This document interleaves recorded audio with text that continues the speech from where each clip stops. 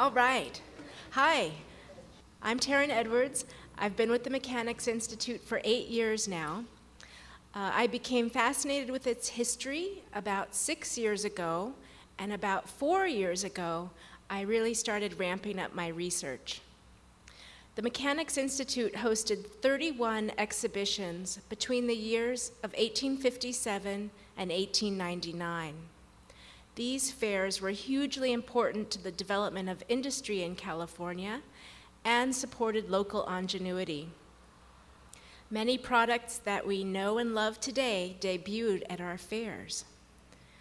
I'm wearing riveted pants by Levi Strauss that debuted in 1876, diamonds by Shreve, who exhibited several times, and just a short time ago we were listening to music. The jukebox, or coin operated phonograph, was invented just a few blocks away. Today we're serving Beringer wine, Boudin bread, Ghirardelli chocolate, and Martinelli cider. I hope you got some. I did spare you the ordeal, however, of drinking Folgers coffee. Each fair had its own extraordinary tale, but for this talk, I've tried to focus on the overarching story and how the fairs led up to the city hosting the Panama Pacific International Exposition in 1915. I'm going to tell you about how the Mechanics Institute got into the fair business and describe in detail a couple of the more important fairs, especially the first one, which set the tone and pattern for all the others.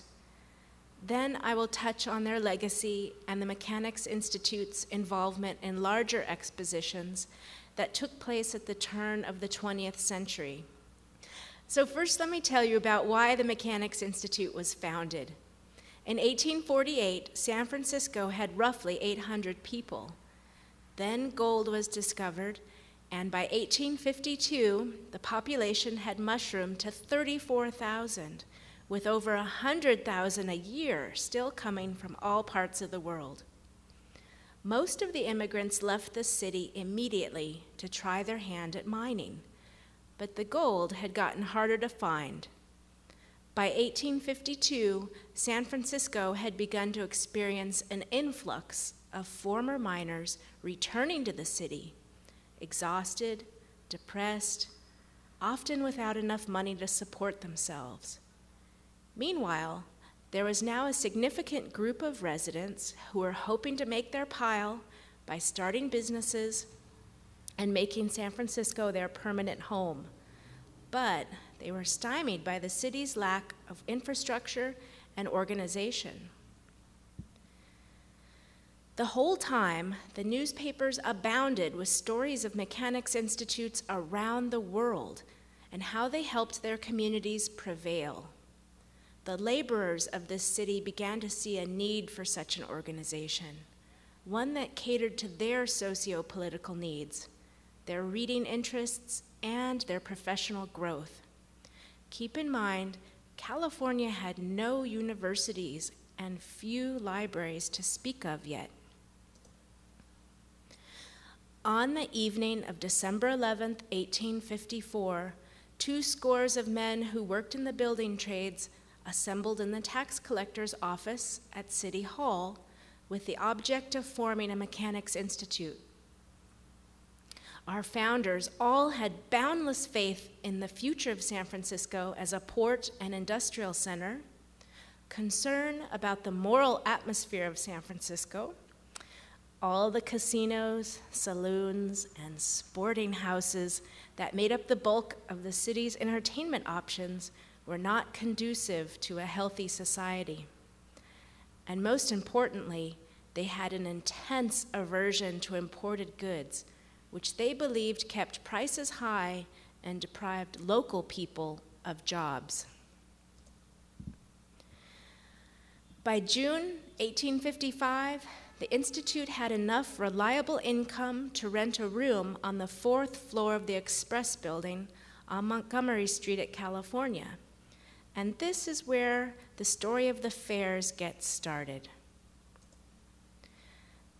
Down the street was the office of the California Farmer, a newspaper that championed the agricultural and industrial interests of California. The paper was published by James Lloyd Lafayette Warren, a horticulturalist from Boston. Mr. Warren was a man of limitless energy. He had organized the first state fair held in San Francisco in 1854, but he was ultimately disappointed by that experience. He wanted to see more industry represented. He was aware that the world was watching California, and he wanted to ensure that it lived up to its natural potential as a producer of food, as the heart of industry on the West, and as a port. But the infant state did not have the means to do what he wanted, so he looked to the Mechanics Institute he invited the Institute to participate in the 1856 State Fair by sponsoring the mechanical department. They received entries and coordinated their delivery to the fairgrounds. That success encouraged the Institute to investigate holding its own fair, one that focused on the creative achievement, achievements of California and home industry. Home industry was a concept similar to the buy local movement of today that encouraged the production and purchase of goods locally. In 1850s California, that was hugely important because the state's economy was completely tied to the production of gold, which was a very unstable source of capital. Most goods also had to be imported, which was really expensive and took a really long time. Goods from the east had to go around South America, and there wouldn't be a railroad across the country for another 10 years or a Panama Canal for 58 years.